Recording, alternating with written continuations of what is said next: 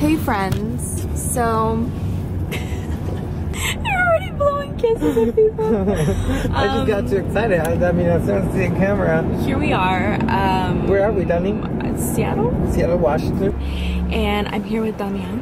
Hola. And you should remember him if you watched my vlogs before because he was in my first ever vlog after I won. The very beginning. After I won Miss Montana. He's the designer at our pageant and he designs all the opening number dresses, which Right. is really, really great. So we're very fortunate to have him. We're just like meeting up and getting some food. I don't know where we're going. I've never Actually, never we're been going here. to a place that's called 360, local 360.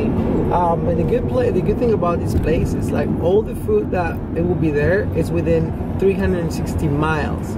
So it's it's really fresh Oh. and they they support the local I like this. businesses and um, it's I really healthy. that. I love, I love, love, love supporting local and small businesses because I mean those are the people with the dreams out there, and you usually get a great experience or better quality with a small business because Yeah. somebody's heart's going into that, and their whole livelihood depends on it. YouTubers are like small businesses, so please subscribe to the channel because this is my business. Anyway, Yeah, and my business, don't forget to uh, follow me on Instagram as well. It's Damian, like Damien, but I will I spell it out for you. underscore Emiliano. Isn't that beautiful? Isn't that a beautiful name? Yeah, Where are you from? you. Tell them. I'm from Argentina. I was born and raised in Argentina, Buenos Aires. Guys, we can tango. Look at you. Like sub. I just got off of a flight, so please. Well, somebody said Dani Walker. I just put my shine on it. I was like, what? Let's go. Yeah, I was Shine like, on. You look so good. I knew you were showing up like that, and I love well. I mean, it's just me. just spray tanned. It looks great, by the way. Thank you. know I gosh, I, just- wish that I had the budget to be one of those girls that gets a spray tan every week. It adds up. Like if you do the spray tan and your hair and your nails, y'all, I'm on a budget.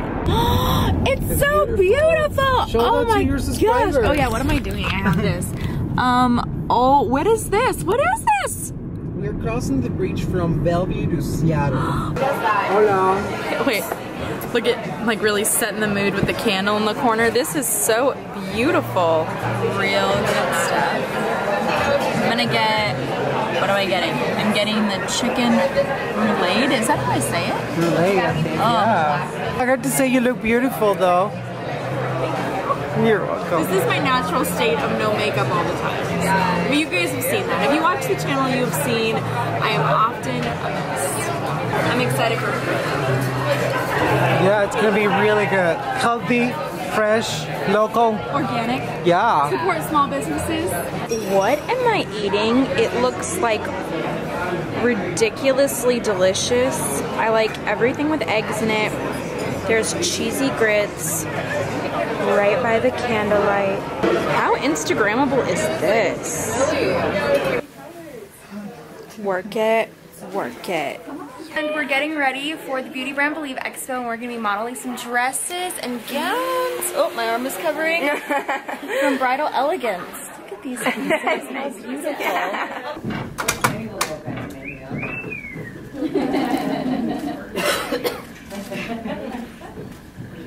Full shoulder, we still see as popular.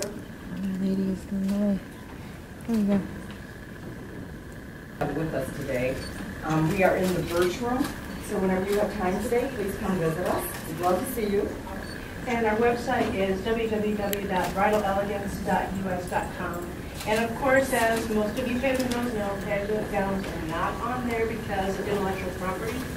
Uh, my husband Say hi to my team. Hi. At we're matching. Look at us coordinating. Here's some vendors with beautiful gowns, and right now I'm headed into the Beauty Brand Believe Expo to just be filled with lots of encouragement from all of our speakers. I love this event because I came last year before I won my title, and I felt so capable of accomplishing my dreams after I was just filled with inspiration by the speakers. So ladies, if you ever have the opportunity to attend this event, I would strongly encourage you to do so because there are the best people in pageants and really just in business inspirational figures who attend here and they can give you their words of encouragement and advice so you can go out there and conquer whatever it is that you want to and make your dreams possible just like I made mine possible with with this and now I get the honor of wearing this sash and representing my state. Do you realize you're going on a job interview? Well, what's her job? To lift self-esteem and be good for the organization's branding. Not to promote yourself during your reign. When you won Miss USA, what are the things that you did that you are like, you pretty much can pinpoint, that is how I won? I know one for sure. I saved myself. Uh, secondly, I would say in the interview room, I brought a lot of personality. And I think uh, typically, like I come from a government setting, right? So it's easy to probably transfer this very professional voice into every interview room I walk into or a person I speak to. But you have to know that, I'm, I'm sure Lou said this to you as well. They're looking for this contestant, this title holder that's going to talk to little girls, encourage them, get down on her knees, sit on the floor, color with them.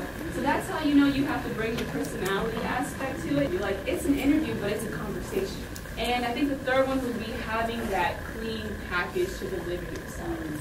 And when you're on stage, anyone's going to be competing in the USA system or any other system, don't be afraid to bring it. Don't. Like, these, like I'm sure Luke said, these Spanish girls come out shaking and moving. It's true though. When you're out there, like a whole nother side of your brain awakens, and you're like, you know what? These hips gotta move tonight. But everybody has their own destiny. Kara's destiny was to be Miss USA. We all have our own destiny. I did not. I had something happen in my life and all of a sudden I ended. The only thing is you have to be authentic and honest and confident in who you are. It doesn't mean you know 100% who you are, but be open and cut yourself some slack.